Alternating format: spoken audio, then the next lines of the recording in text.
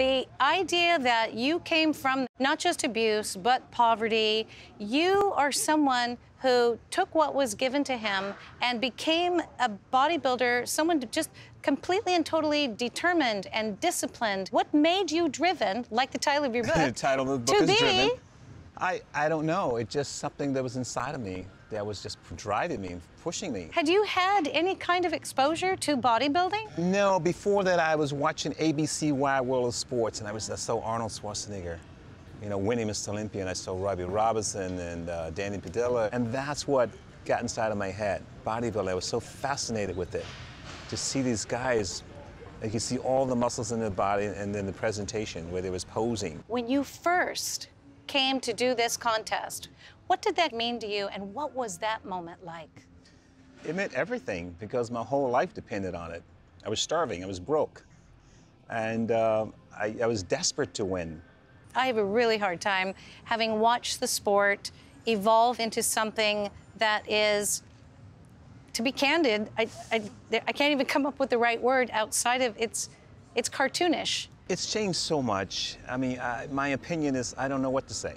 I'm, I'm, lost for words because I can never imagine a guy, you know, weighing 280 pounds. Because in, when I was competing, if you didn't have a super small waist, don't even bother to show up at the contest.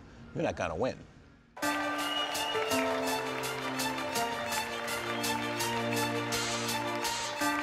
Do you feel about the future of bodybuilding, knowing that the Mr. America and what it stands for and, and, the body types, and what do you think about the future moving forward?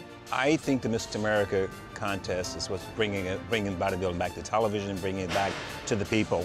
Kids are watching this and go, wow, I want to look like that. Because it's attainable. They're not big.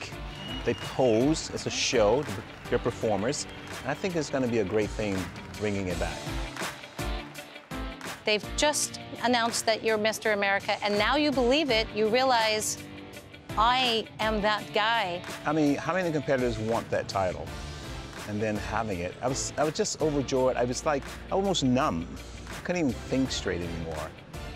I mean, to win that was like everything. If I never want to show after that again, that was that was the, the top of my career. That was it. That was yeah just to be say I can represent America, you know, as a, as a champion, as an African American, being champion.